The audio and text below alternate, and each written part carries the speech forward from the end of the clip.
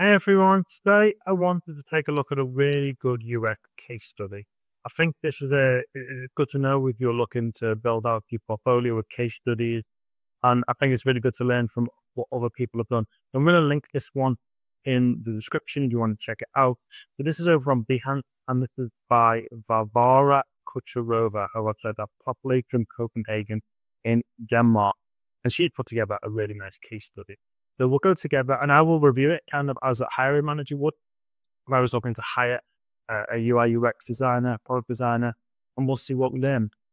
So this is uh, this has been put together in Behance. The, the effectively really long columns. Uh, the, the basically images stacked on top of each other. So you could do this in Figma, export it, kind of individual JPEGs and stack them together. Well, let, us take a look and see what we can learn. So this is a ABC. It's a link, English learning app, and then there's a really nice cover picture, so I can see straight in the top. It's UI UX design, which is what I want. It's a concept, and it's uh, at least relevant to 2024. And then there's a picture of a person holding a phone with a mock-up of the design on it. Straight away, uh, I kind of get what it is. Um, and I really like mock-ups being near the top. At least then you can see the final product, and then you can you want to then learn profit to get that. So let's take a look. So as we go down, there's a little bit of about section. This is all laid out. The typography is very, very nice in this. Laid out kind of like it, it was a magazine. So we've got uh, subjects about, an English learn that with the uh, ChatGPT integration and the task. So what's the task? To conduct research to create a user-friendly English learn that with clear navigation and modern and memorable visual style. So there we go. I, I do like these mock-ups, especially at the beginning. Uh, it, it's kind of just fun something nice to have. The websites where you can go ahead and mock up images like this pretty easily. So then let's go down here. I normally skip stuff like this. Some user personas.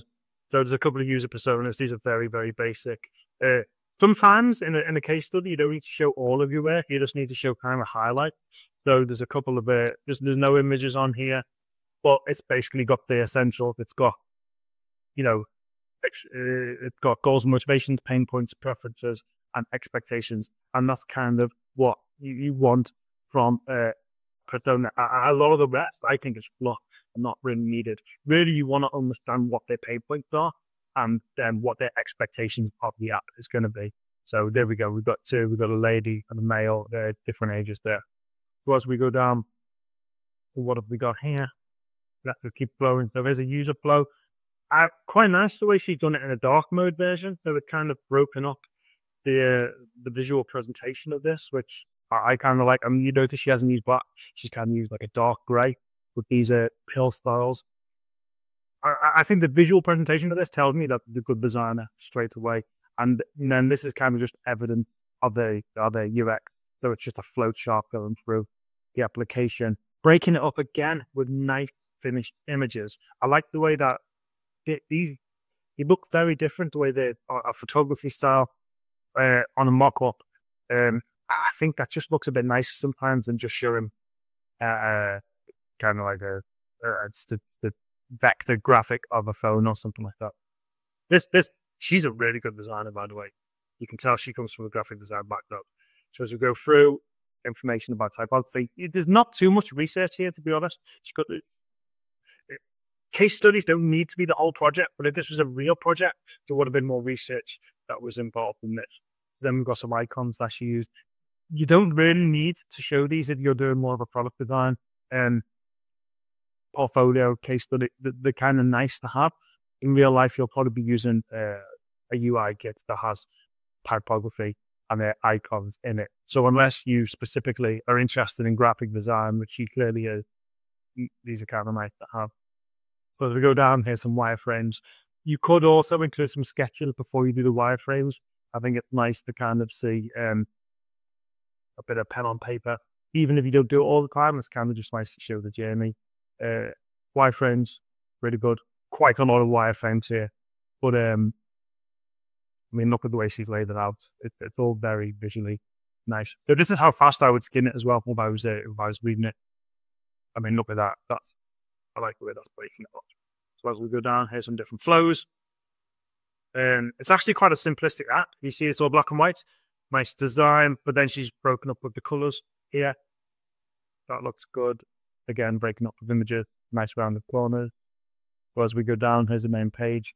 So uh, this is quite a nice way to show her design. So she explains what the page is about, and then she has just done it really nicely. This big pink, this purple circle in the background, and she's got the phone, and then she kind of showed her the, the scrolling of it uh, all the way down.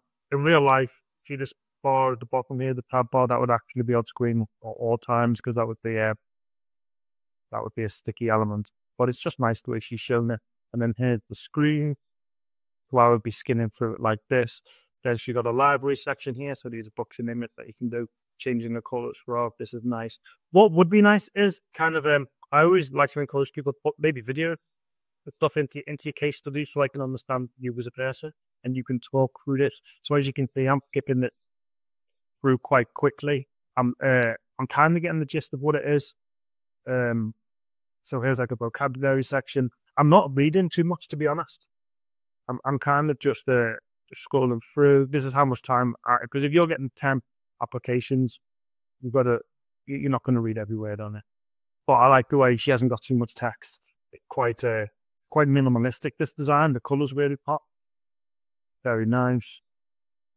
Again, then we've got a landing page. So again, she's got, it looks like a landing page for a website, which would then tell you to download the app. I presume. I really like the way she's done this mock-up. I don't know whether she's taken the photography herself and put them on, or whether she's done it. So this is the website. Very nice design there.